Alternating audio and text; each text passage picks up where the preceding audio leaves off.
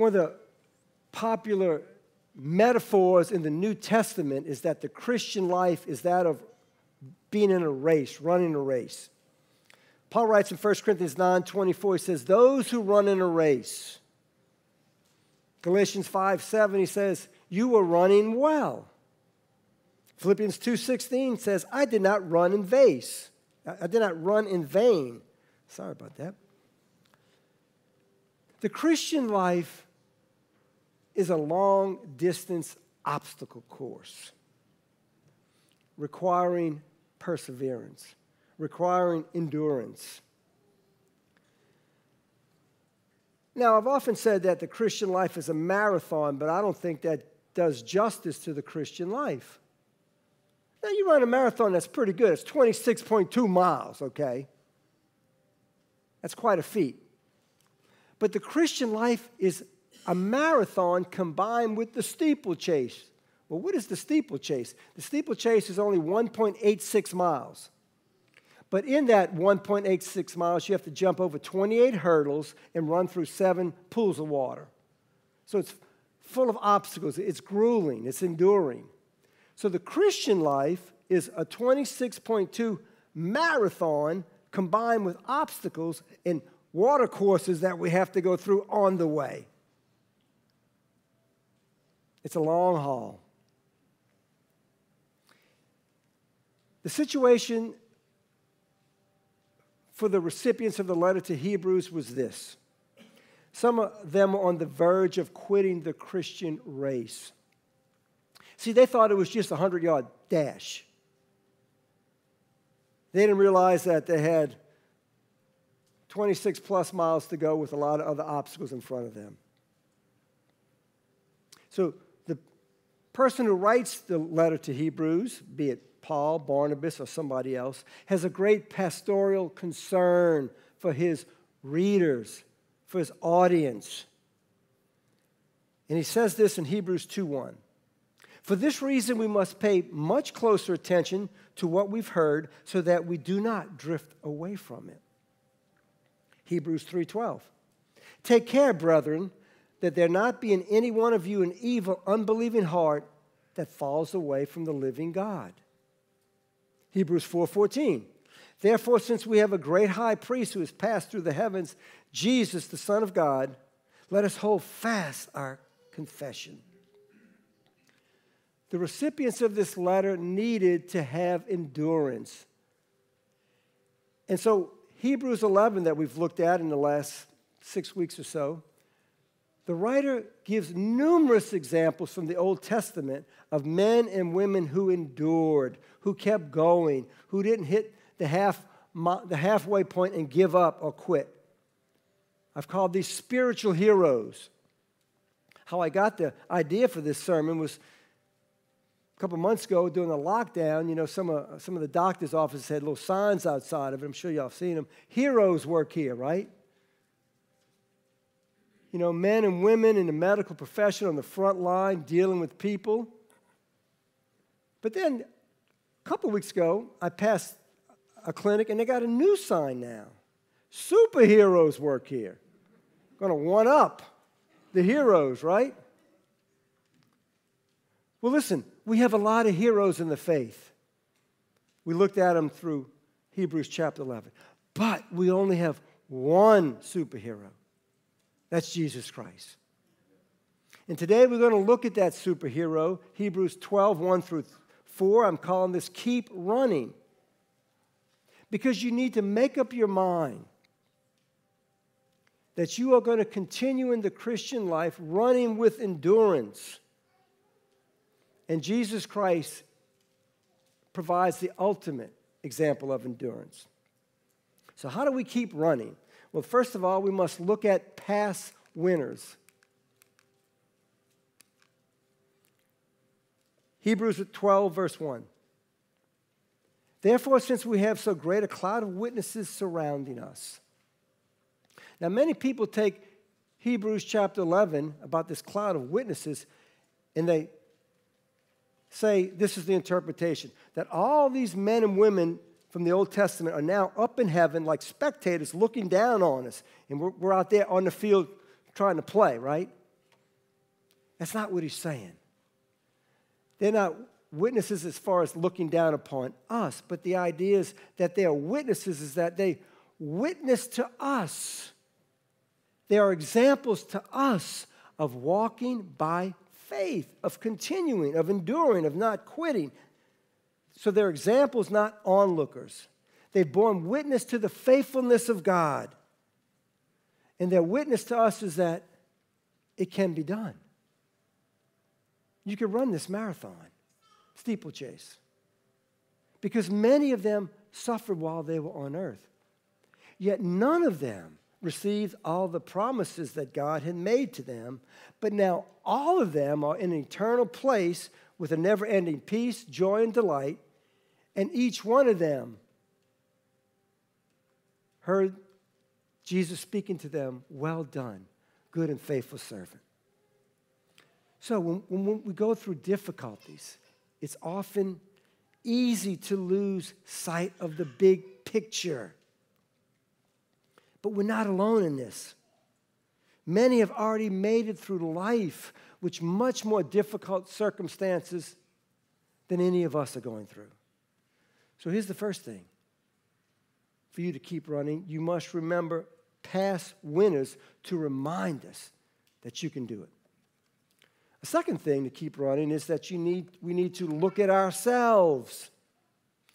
Now, let me let you know what I'm saying here. I'm not saying that you need to be pre, preoccupied with yourself with narcissism, which our society is steep with. Narcissism is this looking at yourself constantly. It's all about you. You think the world and the universe revolves around you. I'm not talking about looking at yourselves as far as being narcissistic and taking, you know, hundreds of selfies of you every day. I remember last year, Laura and I went to a baseball game in Milwaukee. And there were these two teenage girls in front of us, young teenagers. The first six innings, and I'm not exaggerating, I bet they took 100 pictures of themselves. Look, and then, so when I say look at yourselves, I'm not talking about this narcissistic culture that we live in, but in the sense that we are participants in this race that we want and the, and, and the conditions that we run in.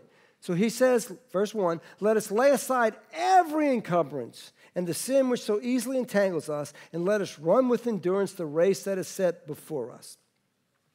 Let us run with endurance. This is the main verb in these four verses I'm looking at. That's what he wants to get, get across. And so, two things I want to look at as we look at ourselves. First, the race that we run in, and second, the hindrances that we face. Six things about this race that each one of us run in, called the Christian life. The first thing is that it takes endurance. Run with endurance, with determination, with perseverance to keep going, to not surrender when circumstances don't go your way, when afflictions come in, when problems develop. Run with endurance. But the second thing it takes is the strength to run the race is not just in ourselves and me doing it, but the strength to run the race is by the indwelling Holy Spirit. That's the reason why we can endure. The perseverance of the saints doesn't mean we persevere because we, we, we, we tighten up and we put our fists together and we grin and bear it. But the perseverance of the saints, why we persevere, is because God causes us to persevere. The Spirit is with us, He's in us, He gives us strength. Paul, uh, in Ephesians chapter 3, verse 16, as he prays for the church at Ephesus, he says that you, he would grant you, according to the riches of his glory, to be strengthened with power through his spirit in the inner man. So, this race that we're all running in, it takes endurance, it takes strength from the Holy Spirit. A third thing, it is personal. The race that is set before us. Each one of us in here is running the Christian race. But each one of us in here is running that Christian race in our own lane, with our own boundary. Stay in your lane, bro. What do I mean by that? That you run this race based on your personal life experiences, where God has you right now, and nobody else is, can run that but you. Now we're all the same in this, in this race. It's not like, oh, I got a better lane than you do. I'm on the inside, you're way out the outside. No, we all have a lane, but it's a personal lane. It's the race set before you that God's going to give you the grace to continue to run well, to run to the very end, to endure. A fourth thing, it's personal, but here's the fourth thing you don't always run alone. Hebrews 10 25. Not forsaking our own assembling together, as is this habit of some, but encouraging one another, and all the more as you see the day drawing near.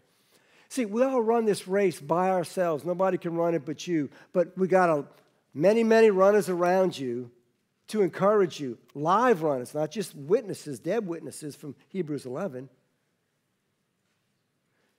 So, in your training, as we're training, we're all in training. None of us achieve in this lifetime. We're running by ourselves, but we're called to have others around us, not just be solo runners all the time. And as he says, especially all the more as you see the day drawing near, the sooner that Jesus Christ might come back. We're called to encourage each other in this race. Here's a fifth thing we're not just only to run the race and kind of lollygag and float our way through it, but we're called to run the race to win the race. Paul writing in 1 Corinthians 9 24. Do you not know that those who run in a race all run, but only one receives the prize? Run in such a way that you may win. Everyone who competes in the games exercises self control in all things. They then do it to receive a perishable wreath, but we an imperishable. Paul was talking about the, games in Greek, the Greek uh, games, athletic games. And of course, there's only one winner they received this little wreath on their head that would die probably in a few days. Paul's saying the prize that we're going to get will never fade away or, or corrupt. They're called rewards, they're called crowns. Now, when you come to Christ, God puts His Spirit in you, gives you new life that can't be taken away. But these rewards, these crowns, are based on how did you live your life after you came to Christ? And that'll determine the prizes that you get, the rewards that you get in eternity. Now, he says that only one receives the prize, but that's talking about physical race on this earth. He's saying to each one of us, everyone's going to get a prize. And that prize is not going to be based on that you beat other people, but that prize is going to be based on how did you do? How faithful were you in all that God had given to you? Now, when we talk about winning, we're not in competition with anyone in here. Look around. Nobody in this room is your competition. No other church is our competition. It's all the same. We're all running. We're not trying to do outdo other churches, outdo other Christians because our competition is Satan, the world, and our own flesh. That's our competition. And so he says, as you run this race, you run with self control. You discipline yourself, just like any athlete would before you are involved in, a, in, a, in an event. You want to be at peak performance. So there's this aspect that you run, but you run to win. You exercise self control. As Paul says, I discipline my body and make it my slave.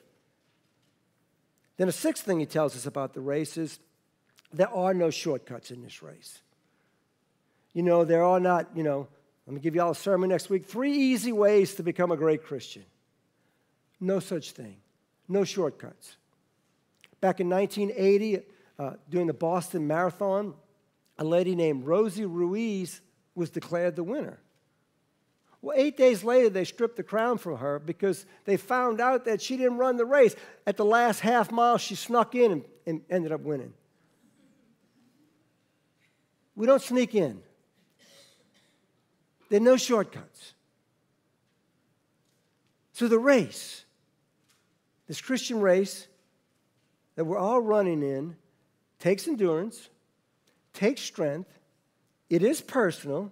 You don't run alone, you run to win, and there are no shortcuts. But here's the second thing the hindrances that we all face while running this race called life, Christian life, this Christian race. There's two hindrances. he says, lay aside these hindrances, strip off what is unnecessary. And what are those two hindrances? The first is, he says, encumbrances. That is bulk or mass. Now, bulk of mass is not bad in and of itself, especially if you are NFL offensive lineman. They want to get big as they can, right? But I've never seen anyone run a marathon wearing army boots and a big wool coat. Or you don't see somebody running a 100 yard dash, you know, with a 20 pound vest, weighted vest on them. You want to get rid of those encumbrances. Now, we're not exactly sure what what the writer was speaking of right here, but I think some possible encumbrances to lay aside indifferent attitude, procrastination, impatience, laziness.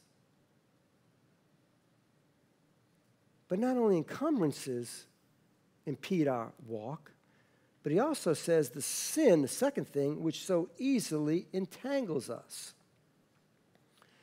Now, any sin can entangle us, any sin can trip you up, cause you to fall. But I think the particular sin that he's talking about right here is the sin of unbelief. Because in Hebrews chapter 10, 11, and 12, that's what he's talking about. That's the context. And the sin of unbelief is not trusting God, allowing fear to rule over you. That's what was happening to these believers. They were going through a difficult time. They were afraid. They were being persecuted, harassed. Some of them lost their property. None of them had been put to death yet. So fear had gripped them. So the writer says, keep running. Look at the past winners who've gone before you. Look at yourself. This race that we're running, and in this race that we're running, know full well that there's going to be encumbrances. Remember, it's a marathon combined with the steeplechase. There's going to be a lot of obstacles, a lot of difficulties. So look at past winners, look at ourselves, but he now gives a third thing. Look at Jesus. Jesus is the only gold medal winner. Jesus is the only superhero. And he is the ultimate example of how we should run this race of faith. Verse 2 Fixing our eyes on Jesus, the author and perfecter of faith, who for the joy set before him endured the cross, despising the shame, and has sat down at the right hand of the throne of God fixing our eyes on Jesus. The tense of the verb is present tense, ongoing. We're always looking at Jesus. See, coming to Jesus is not this one time event that happened somewhere in your past, and then from now on, you just kind of do what you want. Now, the idea of faith, fixing your eyes on Jesus, is lifelong, continuing to look at Jesus. An attitude of faith, not a single act of faith. Now, you can't run successfully while you're looking around. If you're in a 100 yard dash, you can't be running waving at the crowd. Or you can't run looking down at your feet, seeing how they look. Oh, those are nice shoes I have on. Or looking around at the competitors. No, you run to the tape. You run to the finish line. Last year, Laurie and I were taking a walk with my granddaughter, and you know, we're walking and she's running, you know, looking around. I said, Come here, watch where you're going. Well, sure enough, boom, she goes down. We're called to run with a purpose. Fixing our eyes on Jesus, who the Bible says right here is the author and perfecter of faith. See, it's faith in Jesus from the beginning to the end.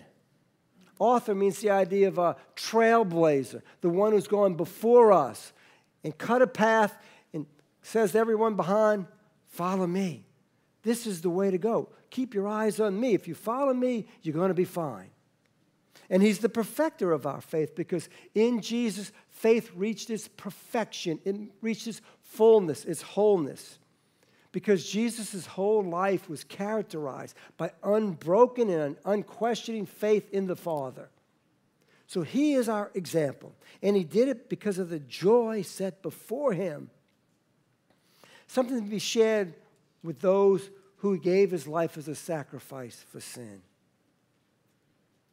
Because he knew the cross was going to be horrific. But he knew after the cross is where joy was to be found. That he was completing the Father's will.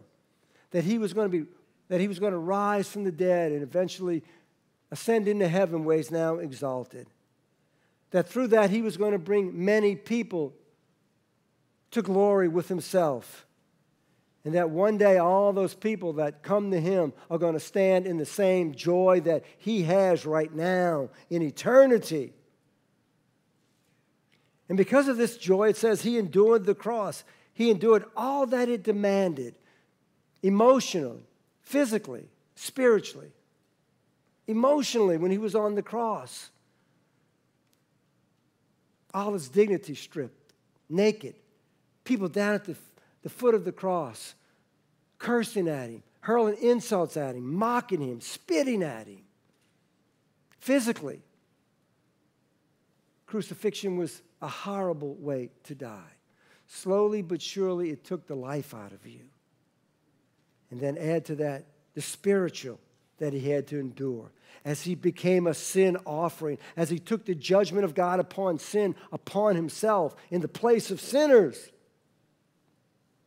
And he did all this willingly. And it says how he did it, despising the shame that is the, the, the, disgrace of the cross, Jesus disregarded as something not worthy to be taken account of. He didn't let shame define him. And listen, all of us in here, shame is part of the human life. Maybe for some of you, might, by just me saying that, something jumps into your mind. But Jesus would not allow that to overwhelm him to define him. He despised it, he put it aside. Why? To sacrifice his life. And after that, it says he sat down at the right hand of the Father right now, right this very moment. Jesus is at the right hand of the Father, and as Hebrews 7:25 says that he always lives to make intercessions for his people. He's praying for you right now. That's his whole purpose, is to pray for the church, to pray for his followers. Verse 3 For consider him who has endured such hostilities by sinners against himself, so that you will not grow weary and lose heart. Consider Christ. Think it over. Meditate upon it, is what it's saying. Occupy your mind with Christ. Never cease to be amazed at who Christ was, his person, and what he came to do, his sacrifice on the cross. In a little while, when we go to the communion table, that's exactly what we're going to do. But it's not just when we have communion, daily. That Jesus Christ would die for me, that Jesus Christ would love me. Meditate on who Christ is. Paul writing in Ephesians 3:17, again praying for the church at Ephesus, he says this. And I pray that Christ will be more and more at home in your hearts, living within you as, a trust, as you trust in Him. May your roots go down deep into the soil of God's marvelous love. And may you be able to feel and understand, as all God's children should, how long, how wide, how deep, and how high His love really is. And to experience this love for yourselves, though it is so great that you will never see the end of it or fully know or understand it. Consider Jesus. Think of all the hostility from sinners his whole life. People tried to trap him, embarrass him, mock him, slander him. Then at the end of his life, he was betrayed and they killed him.